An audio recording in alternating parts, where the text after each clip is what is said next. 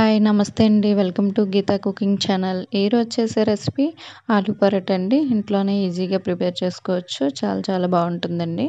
ముందుగా ఒక గిన్నె తీసుకొని ఇందులో ఒక కప్పు గోధుమ పిండి ఒక టేబుల్ స్పూన్ ఆయిల్ కొంచెం సాల్ట్ వేసి బాగా మిక్స్ చేసుకోండి.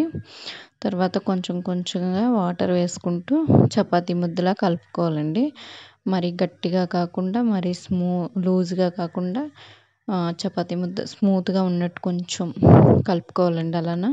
వీడియోలో చూపించిన విధంగా కలుపుకుంటూ ఉండండి. ఒకసారి వాటర్ వేసేస్తే లూజ్ అయిపోద్ది. కొంచెం కొంచెం యాడ్ చేస్తూ బాగా పిండి ముద్దను ప్రెస్ చేయండి. అప్పుడే మెత్తగా ఉంటుందండి. ఆలు పరోటా బాగా వస్తుంది. ఇది ఒక పదిహేను నిమిషాల పాటు దీని మీద ఏదైనా కవర్ చేసి రెస్ట్ ఇవ్వాలండి.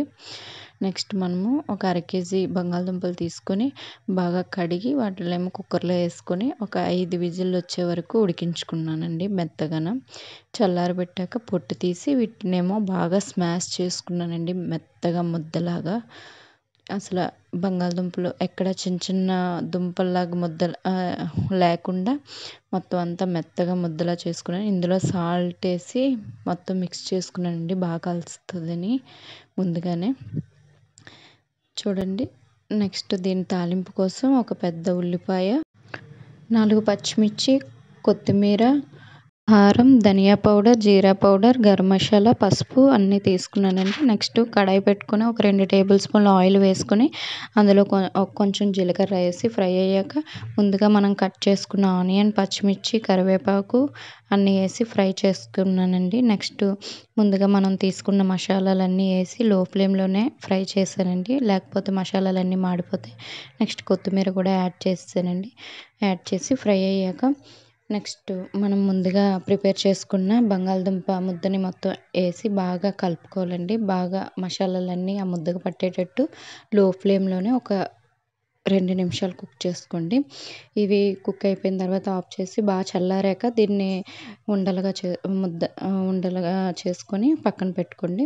నెక్స్ట్ మనం ముందుగా కలుపుకున్న చపాతీ ముద్దను తీసుకొని ఉండల్లా చేసుకొని చపాతీల్లో చేసుకొని ఇందులో ముందుగా మనం ప్రిపేర్ చేసిన బంగాళదుంప స్టఫింగ్ని ఇందులో పెట్టి బాగా కవర్ చేసుకొని వీటిని చేత్తో కానీ చపాతీ కర్రతో కానీ ఒత్తుకోవాలండి మళ్ళీ. చేత్తో ఒత్తి చూపిస్తున్నాను చూడండి. ఇలా చేత్తోనే పలుచగా చేత్తో చేసుకున్న ఆలు పరోటా బాగానే వస్తాయండి.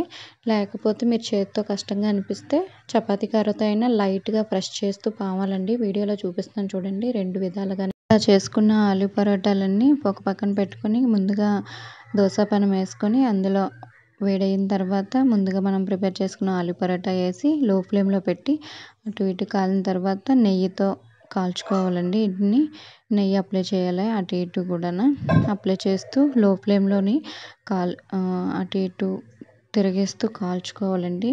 బ్రౌన్ కలర్ వచ్చే వరకు. ఇలా అన్ని ఆలు పరోటాలని ప్రిపేర్ చేసుకున్న తర్వాత ప్లేట్లోకి సర్వ్ చేయండి. దీన్ని రైతాతో సర్వ్ చేసుకుంటే చాలా చాలా టేస్టీగా ఉంటుందండి. మీరు కూడా తప్పకుండా ట్రై చేయండి. నా వీడియోస్ కానీ మీకు నచ్చినట్టయితే లైక్ చేయండి షేర్ చేయండి సబ్స్క్రైబ్ చేయండి. Thanks for watching.